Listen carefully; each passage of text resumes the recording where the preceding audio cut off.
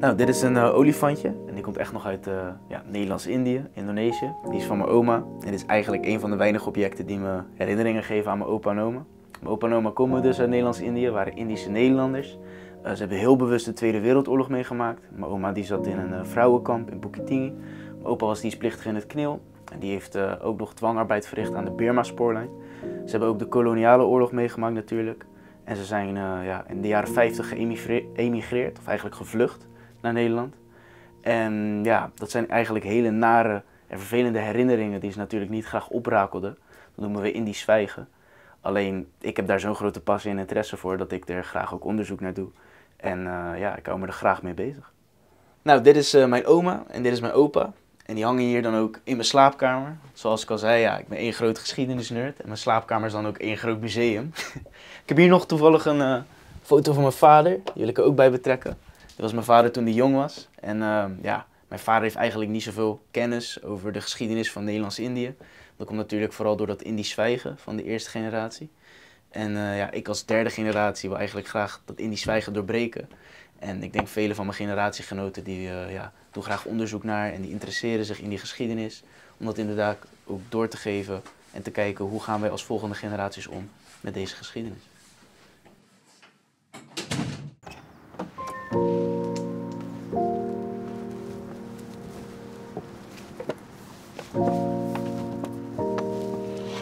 Mijn grootvaders die dienden bij het KNIL. En uh, op dienstbevel kwamen ze in 1951 met hun gezin hier naar Nederland. Met de belofte dat ze snel weer terug zouden kunnen keren naar een vrije Molukse staat. En na toch heel lang verblijf in barakkenkampen in zowel Vught en in Huizen... is mijn familie hier terechtgekomen in deze wijk, in Capelle en IJssel. En ja, een Molukse staat, een vrije republiek der Zuid-Molukken, is er tot op heden nog nooit gekomen. Opgroeien in een Molukse wijk was voor mij eigenlijk heel normaal. Ik uh, ben niet anders gewend. Ik heb mijn eigen mensen om me heen, goede tijden, in slechte tijden. Ik kan altijd overal bij iemand terecht. Nou ja, eigenlijk is de Molukse wijk, dat is al een van de invloeden die over zijn gebleven van het Knilleger. Mijn opa's die groeiden op in kampen. Mijn vader is geboren in een kamp. Uiteindelijk zijn die kampen opgegeven, omgezet naar stenen ja, huizen zoals we dat nu hier kennen in de Molukse wijk. En uh, de dienstbevel dat was hier naartoe komen en uiteindelijk teruggaan. Maar dat teruggaan is nooit uitgekomen. Um, en nu zitten we hier nog steeds. Meer dan 70 jaar.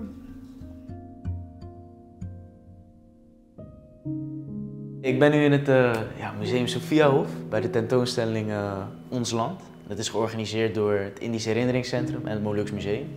Ik vind het echt ja, een geweldige tentoonstelling.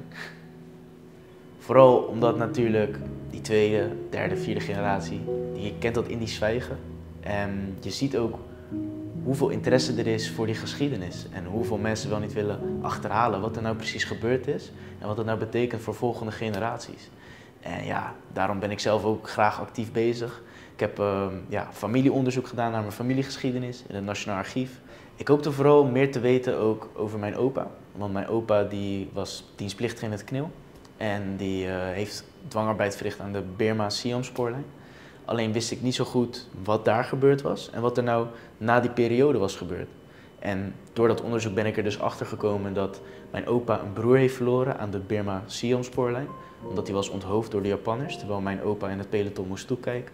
En uh, ik ben er ook achter gekomen dat mijn opa in 1946 nog dienst heeft genomen in het KNIL. Om uh, in het koloniale oorlog nog een, zijn steentje bij te dragen tegen ja, de Indonesiërs.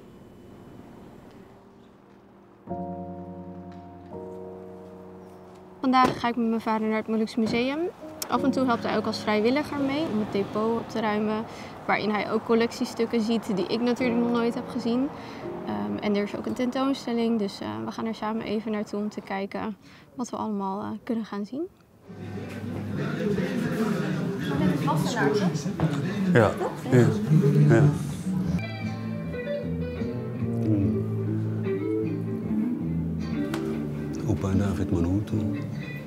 Met de, de vlag van de uh, Minamuri. Ja. is de aankomst. Dit lijkt wel alsof het op het schip is nog. De aankomst van mijn grootouders voelt heel dubbel. Door hun komst kan ik nu de dingen doen die ik aan het doen ben. Maar aan de andere kant hebben ze zo lang in het kneelleger gediend, hè, mijn opa's. En op dienstbevel kom je dan hier naartoe omdat je niet kan demobiliseren op eigen plek naar keuze. Je kan niet terug naar waar je vandaan komt. En dan is een tijdelijke oplossing naar Nederland verschepen met een belofte om weer terug te gaan om vervolgens de boot af te stappen op de Rotterdamse Lloydkade en ontslag te krijgen, waar je eigenlijk helemaal niks van af weet. En dat, uh, ja, dat, dat doet wel nog steeds pijn. Niet alleen voor mij, maar ook voor mijn ouders. Die, die hebben dat natuurlijk ook allemaal meegeleefd. Dat is niet iets... Ja, die, die koffers die stonden maandenlang gewoon klaar om weer weg te gaan. Terug naar huis. En dan op een gegeven moment kan je gewoon niet meer naar huis. Dan bouw je een nieuw thuis op. Kijk, en daar ging het uiteindelijk allemaal.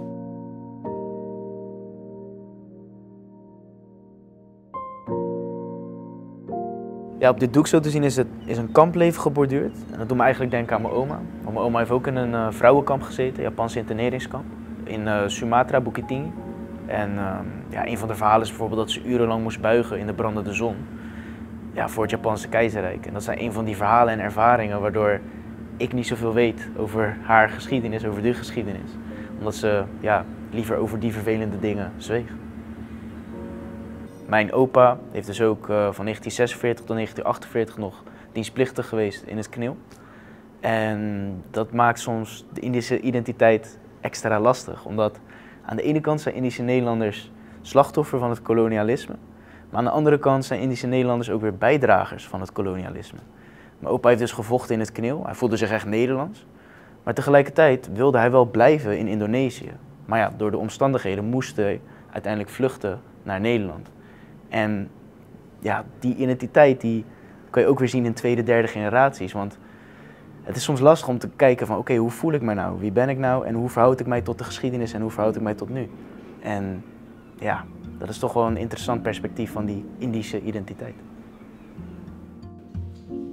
Als iemand me vraagt van joh, wat doe je in je vrije tijd? Dan is dat eigenlijk gewoon het, het Moluk zijn. En ik hou me bezig met Molukse projecten, maar ook ja, het, het in het levend houden van de gedeelde geschiedenis die wij hier met Molukkers, als Molukkers hier met de Nederlands hebben. Want dat, dat is het natuurlijk. Het is een gedeeld verleden. En ja, als je nu kijkt naar de schoolboeken en leermateriaal, wordt het gewoon niet verteld.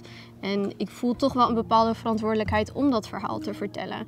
Hoe mijn opa's hier terecht zijn gekomen, waarom, waarom we hier nog, nog steeds zijn, waarom er nog steeds geen vrije republiek der Zuid-Molukken is. Maar ook bijvoorbeeld door de verenigingen van dorpen waar mijn opa's vandaan kwamen op de Molukken. Um, zit ik in een jongerenwerkgroep. Ik help mee om een boek te schrijven door jongeren te interviewen. Um, dus op die manier probeer ik ook ja, mijn geschiedenis levend te houden en relevant. Ik denk dat in die zwijgen voortkomt inderdaad uit dat oorlogsverleden, uit die oorlogstrauma's. Maar het komt ook denk ik voort uit het repatriëren. Dus inderdaad het emigreren, het vluchten naar Nederland. Waarbij eigenlijk de meeste van de generatiegenoten van die eerste generatie Indische Nederlanders dachten... we zijn nu in Nederland, we hebben alles achter ons gelaten, zowel letterlijk als figuurlijk. En we zijn nu hier in een nieuw land en we moeten werken aan een nieuwe toekomst. Zodat we inderdaad iets kunnen bijdragen aan onze kinderen en kleinkinderen. En ik denk dat daaruit dat in die zwijgen voortkomt. En dat dat dus ontstaan is uit zowel trauma als inderdaad een overlevingsmindset om een nieuwe toekomst op te bouwen voor zowel hun als hun volgende generaties. En juist daardoor identificeer ik mij extra als Indo zijnde, als Indische Nederlander, omdat mijn opa en oma bepaalde, en mijn andere familieleden, bepaalde offers hebben gegeven, um, ja, die ertoe leiden dat ik hier tot de dag van vandaag ben. En dat er inderdaad een Indische gemeenschap hier aanwezig is. En dat uh, ja, wil ik graag met trots representeren.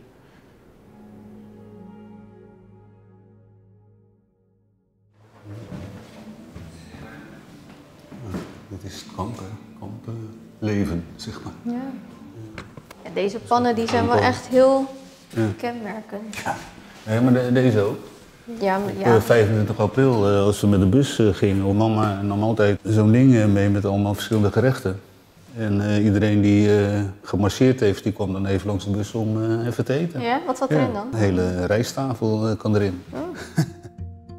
Ik zou het een mooie toekomst vinden als wij als Molukse gemeenschap gewoon kunnen bestaan in Nederland. En niet worden geschaard onder de Indische gemeenschap, want dat zijn wij niet. Wij, wij, zijn, wij hebben onze eigen normen en waarden, onze eigen cultuur wij worden niet gerespecteerd voor wie we zijn en wat mijn opa's vroeger hebben gedaan voor, voor de Nederlandse vlag.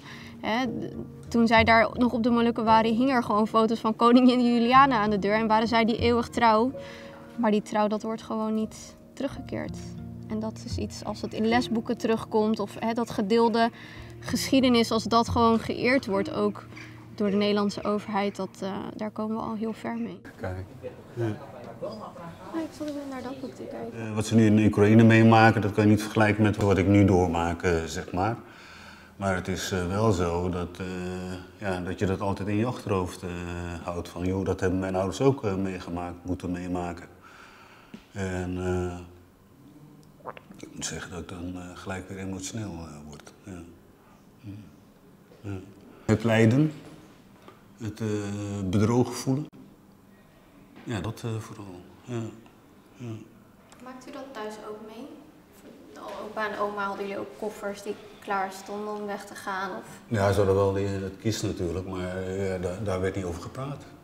Opa en oma die, die praten dus, of die vertellen dat niet. Hm. Spraken ze wel eens dan uit om terug te gaan weer? Was dat ook gewoon echt een gesprek dat niet... Nee, dat werd niet uh, gevoerd, behalve uh, het moment dat uiteindelijk de Molukkers terug mochten op vakantie. Mm. En toen, toen was het wel heel erg goed, zeg maar. Ja. Ja. Maar het was, er was... Van, toen werden er ook plannen gemaakt, weet je Dat, ja. Maar echt terug naar huis, mm. dat niet? Nee, om uh, voor goed terug te keren. Nee. Je zou denken dat oorlog voorbij is als we het hebben over de Tweede Wereldoorlog en ook wat er in Indonesië, of Nederlands-Indië, zich tijd heeft afgespeeld. Um, maar voor Molukkers is er eigenlijk altijd nog wel oorlog. Als in er is geen vrijheid voor het Molukse volk op de Molukken zelf. En ik beschouw dat nog steeds als oorlog waar ik me wel druk om maak als ik kijk naar hoe mijn mensen op de Molukken worden behandeld. Dat zij niet hun eigen cultuur kunnen uitdragen. Ze kunnen niet een eigen taal spreken. Ze kunnen niet onze vlag laten zien zonder dat ze ervoor gestraft worden. En dat betekent voor mij nu nog steeds leven met oorlog. Ook al ben ik daar niet fysiek. Maar die mensen heb ik zeker in mijn gedachten altijd, elke dag. Leer jezelf kennen. Blijf altijd ontdekken. Laat het even wennen. Beter dan wegrennen of ontkennen. Je moet erkennen om te verkennen. Zoek naar de zwakke plek om ze vervolgens af te dekken. Laat de wonden helen om de littekens te delen. Er zijn velen met problemen. Niemand kan het schelen. Allemaal uniek wat wij beleven in dit leven. Maar alles is verbonden hier en dat is wat we delen.